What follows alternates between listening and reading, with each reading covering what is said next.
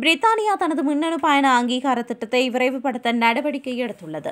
அதுக்கமைய பெரும்பாலான நாடுகளிலிருந்து பயணிகள் அனுமதி பெற வேண்டும் மற்றும் நாட்டிற்குள் நுழைவதற்கு முன் பத்து பவுண்ட் கட்டணம் செலுத்த நேரிடும்.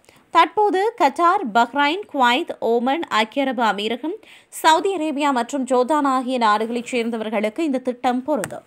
எனினும் இரண்டாயிரத்தி இருபத்தி நான்காம் ஆண்டு நவம்பர் மாதம் முதல் அனைத்து ஐரோப்பிய அல்லாத நாட்டினருக்கும் இரண்டாயிரத்தி இருபத்தி ஐந்தாம் ஆண்டு மார்ச் மாதம் முதல் ஐரோப்பிய நாட்டவர்களுக்கும் விரிவுபடுத்தப்படும். மின்னணு பயண அங்கீகார திட்டம் பாதுகாப்பை மேம்படுத்துவதையும் பிரித்தானியாவுக்கு பயணிப்பவர்கள் பற்றிய விரிவான புரிதலை வழங்குவதையும் நோக்கமாக கொண்டுள்ளது. இது இந்த ஆண்டு பிரித்தானியா சுற்றுலா பொருளாதாரத்திற்கு முப்பத்தி இரண்டு பில்லியன் பவுண்டுகள் பங்களிக்கும் என்று எதிர்பார்க்கப்படுகிறது.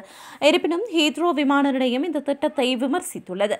இது செயல்படுத்தப்பட்டதன் மூலம் பரிமாற்ற பயணிகளின் எண்ணிக்கையில் தொண்ணூறாயிரம் வீழ்ச்சியை காரணம் காட்டி எங்கள் மைய போட்டித்தன்மைக்கு பேரழிவை ஏற்படுத்துகிறது என்று கூறியது.